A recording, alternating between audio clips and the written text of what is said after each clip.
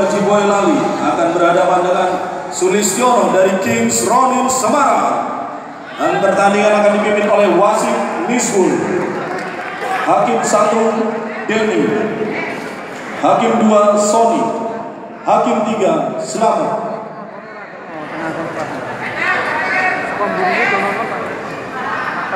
Modelnya